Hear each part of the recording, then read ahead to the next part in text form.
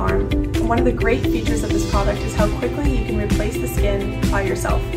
So the first thing that you will want to do is remove the connector tubes at the back of the arm.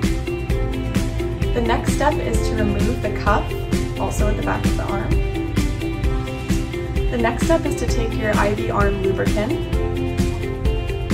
and apply some in a line all the way up to the hand.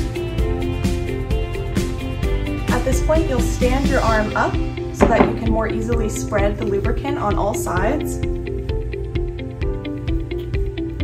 At this point, you'll start to pull the skin up just at the bottom of the arm. And at this point, you can simply roll it right up off of the arm.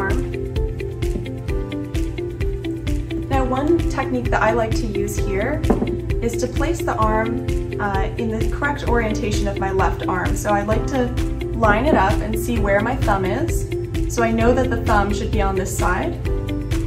I next feel for the thumb in the hand, line it up like so, and once it's aligned, I simply roll it, roll the skin right back down onto the arm.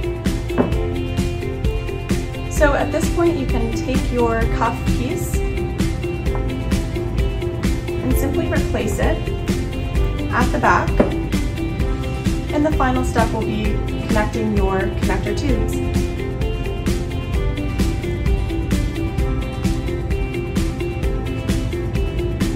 And there you have it. You can skin it in a minute.